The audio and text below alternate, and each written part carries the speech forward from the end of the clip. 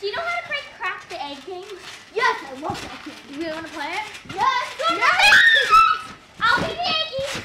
I love the eggs. Ah! I didn't crack. I just fell. I'm seeing something fall off the wall. Go a little closer.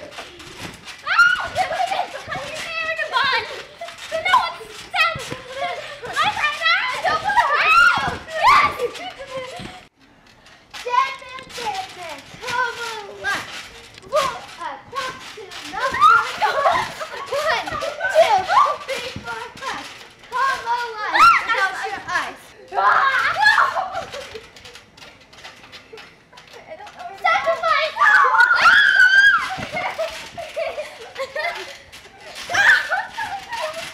I just someone. I just someone. Dead woman, dead woman. Come alive. One, count to number five. One, two, three, four, five. Come alive without your eyes. Just like kidding. That was sad. He got me. Damn! Keep your eyes closed. Hey guys, explain your game. Oh, no!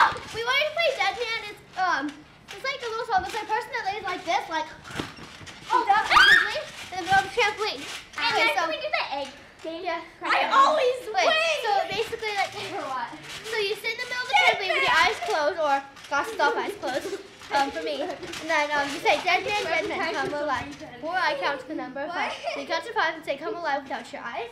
No. And then the, the person like uh, the dead man or dead woman um, has to tag you and then like they have to try to tag you and then um if they tag you you're the next dead man.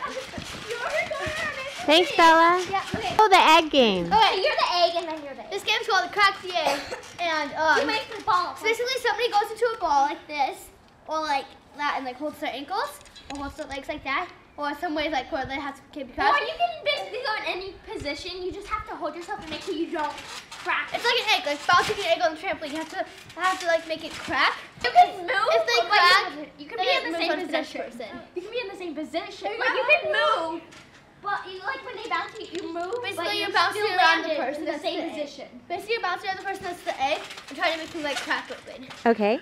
But try not to injure them. Oh, yeah. That's only bad thing about this game it's really injury. We should do a game with a in the pool. Like sometime like during the summer. Yeah. Like show how to play like Marco Polo and like fun games can Ooh, do. I love Marco Polo, but no one ever wants to do it with me.